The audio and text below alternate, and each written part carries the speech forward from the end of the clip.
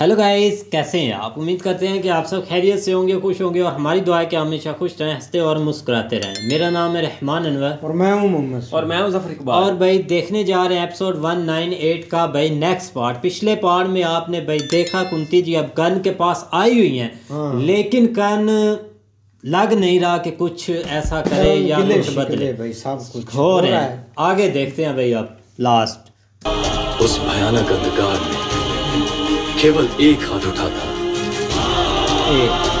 और उस एक धर्म के लिए। मैं अपने सौ जन्म युवराज दुर्योधन को समर्पित कर दूँगा? मेरा शस्त्र सदा ही। युवराज दुर्योधन का ऋणी रहेगा राजमाता। हो फैसला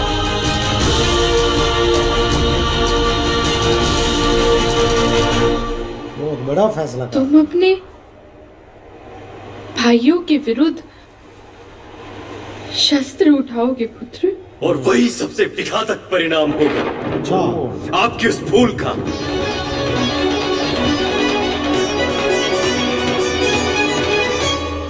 जब मैंने अपने आप को दुर्योधन को समर्पित किया तब आपने मुझे स्वीकार क्यों नहीं किया? यदि आपने ऐसा किया होता माता तो आज मैं आपका पुत्र कहलाता आपके पक्ष में खड़ा होता मैं।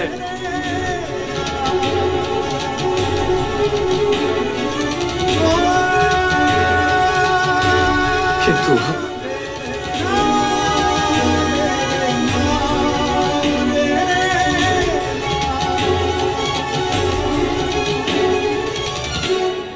अब समय बदल चुका है। मैं मैं बंध गया हूँ। पद पद पर अधर्म, अत्याचार देखता हूँ। पद पद पर मेरी आत्मा की मृत्यु होती है किंतु मैं। मैं वचन से बंध गया हूँ।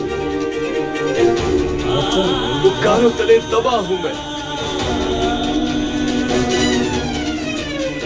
मैं युवराज का त्याग नहीं कर सकता। अपने वचन का त्याग नहीं कर सकता मैं।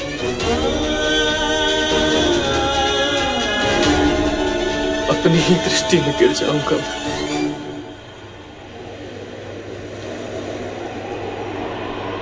मेरे बाण जब भी मेरे भाइयों को घायल करेंगे, रक्त मेरे हृदय से बहेगा। इसी पीड़ा के साथ जीना होगा मुझे। किंतु मैं वचन तोड़कर अधर्म नहीं कर सकता। तो युद्ध में भाग मत लो पुत्र। हाँ। वो भी धर्म ही है। यहाँ ही जुड़ जाओ कुछ तो मान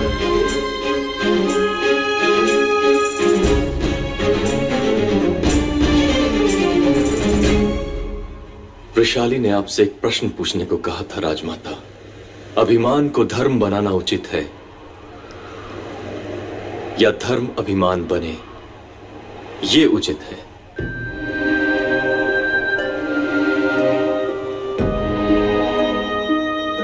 धर्म अभिमान बने? ये उचित है। और मैं अपना धर्म जानता हूँ। हम्म। त्याग नहीं सकता। ना ही धर्म और ना ही युवराज दुर्योधन को। आप जाइए राजमाता।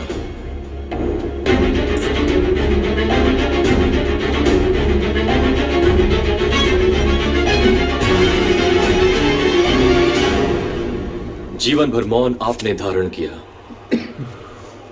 और पीड़ा केवल मैंने प्राप्त की।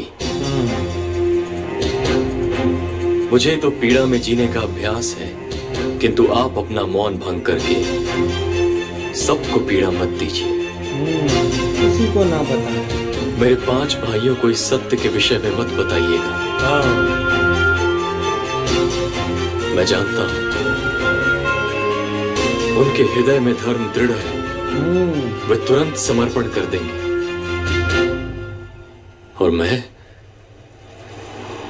मैं उनके सामर्थ्य को युवराज दुर्योधन के चरणों में समर्पित कर दूँगा।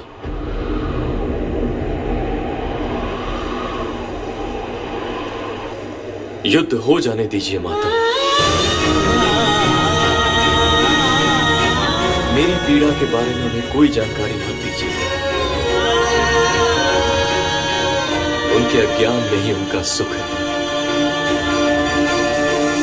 मैं मैं राधे बनकर जिया हूँ। और? राधे बनकर ही मृत्यु होगी मेरी। अच्छा। सख्त निर्णय भाई ले लिया। मैं क्या करूँ पुत्र?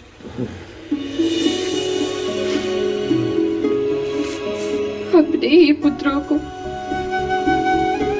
एक दूसरे का वध करते कैसे देख सकती हूँ मैं?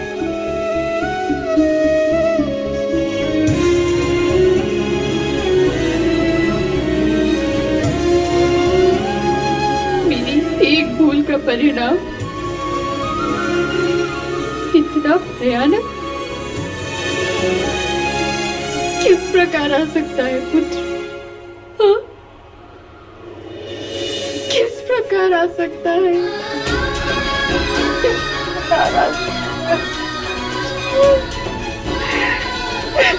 प्रकार आ सकता है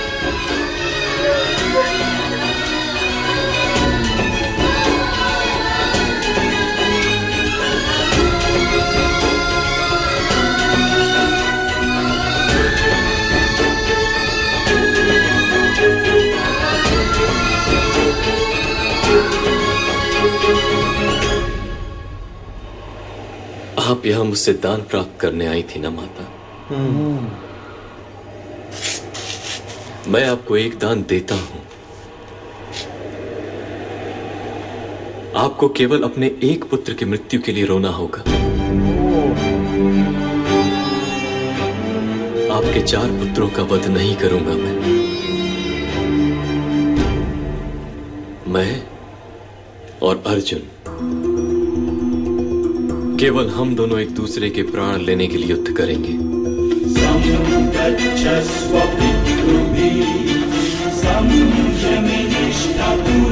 यदि अर्जुन के हाथों मेरी मृत्यु हुई तब आपके पाँचों पुत्र जीवित रहेंगे और यदि मेरे हाथों अर्जुन की मृत्यु हुई तब भी आपके पाँच पुत्र जीवित रहेंगे क्योंकि तब तब मैं आपको माता कहकर पुकारूँगा।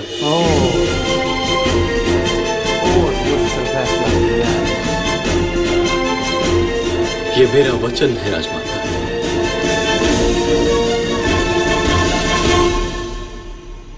और यही मेरा दान है।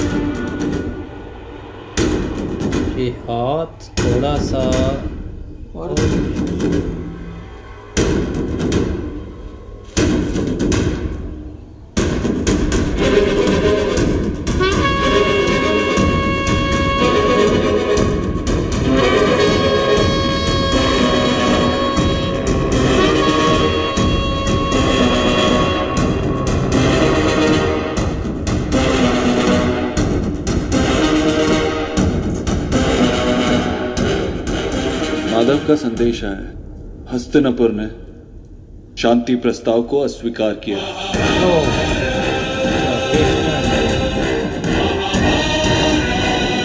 पैगाम नहीं माना ना। मैं शीघ्र सारी सेनाओं को लेकर शामंत पंचक सरोवर की ओर जाने का आदेश शांति प्रस्ताव का स्वीकार किया। वंश का नाश करना उन्हें उचित लगा। वंश का नाश मत कहिए सम्राट। इसे नव निर्माण का प्रथम चरण कहिए।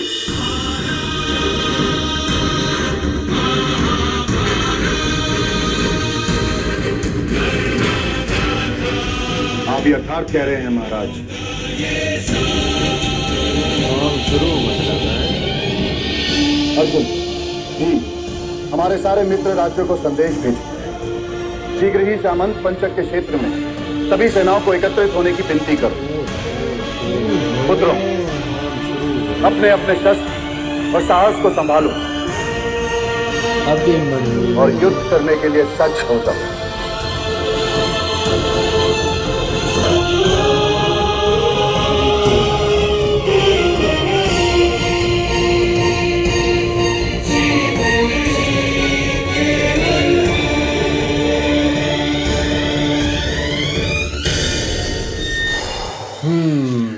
सही भाई आप देख लें कि कर्ण ने अपना फैसला सुना दिया है सुना भाई। दिया भाई बाकी जो उनके मन में था जो वो चाहते थे या जो भी मतलब फैसला उनका होना था अपना खुद मुख्तार थे ही वो। लेकिन उन्होंने लास्ट जाते जाते ये बोला है कि भाई अगर अर्जुन का और मेरा होना है सामना एक पुत्र आपका गया तो पाँच आपके पुत्र होंगे और मैं आपको माता बोलूँगा। लेकिन ये तो समय ही बताएगा क्या होगा? लेकिन अब उस तरफ़ भाई क्या देखें यार। बोलने को कुछ नहीं यार कुंती जी बहुत परेशान थी यार कुंती जी अब माता भाई परेशान होनी है हाँ बनता भी है परेशान क्योंकि वो एक ये पीड़ा नहीं सह सकेगी भाई। हम्म। और इधर भाई पाँच पुत्र भी हैं उसके पांडव भी अब वासुदेव ने अब संदेश। आगे बड़ी लंबी अब हो गई है हाँ हाँ बहुत लंबी लेकिन ये कि करण के लिहाज से अगर देखा जाए तो भाई हम ये नहीं कह सकते उसने गलत किया है सही किया। है ठीक है ना? जिस तरह श्री कृष्णा जी ने उसके ऊपर सारा फैसला छोड़ दिया था कि भाई उन्होंने अपना फैसला करना है कुंती जी को भेजा कि आप एक दफ़ा जो है ना वो उसको समझा लें या कह लें हाँ। या जो भी आप बेहतर समझती हैं। उन्होंने हर तरीके से कोशिश की लेकिन करण का अपना पॉइंट ऑफ़ व्यू है। उन्होंने अच्छे तरीके से उनको कहा लेकिन वो भाई इस चीज़ के ऊपर नहीं माने। नहीं माना, जो उनको बेहतर लगा उन्होंने उस चीज़ के ऊपर अपना फैसला फैसला सुना लिया। लेकिन अब ये एक उन्होंने एंड के ऊपर ज़रूर ऑप्शन छोड़ा है कि रहेंगे आपके पाँच ही चाहे मैं जाऊँ या अर्जुन जाए। ठीक है ना? एक ना एक ने जाना ज़रूर है क्योंकि ये युद्ध होना ही होना और हम जो है ना ये सारी बात है क्योंकि वासुदेव की जब उन्होंने भाई एक उनको एक बंदी बनाने की कोशिश की की थी ना। ये अभी तक वो शुक्र करें कि वो, बात नहीं नहीं बताई बताई। नहीं तो भाई अभी देखो कितना उनको एक मतलब कि गुस्सा आ रहा है। एक संदेश पर। हम्म। तो अगर वो बात बता देते तो मैं बोलता हूँ कि भाई एक और हृदय पर- क्या हाँ, जाना। बिल्कुल। लेकिन ये कि अब फैसले हो चुके हैं सारे उन मित्र जो हैं भाई पांडवा के जो इधर से हाँ, बैंड पे कोई चीज़ नहीं गई। अब मुझे लगता है कि नेक्स्ट जो है ना वो काम शुरू युद्ध ही होगा भाई हाँ। और उधर से भी सेना आएगी इधर से भी। बाकी हम मिलेंगे भाई रणभूमि में और वहीं सब कुछ देखेंगे। मिलते हैं नेक्स्ट एपिसोड में तब तक के लिए गुड बाय टेक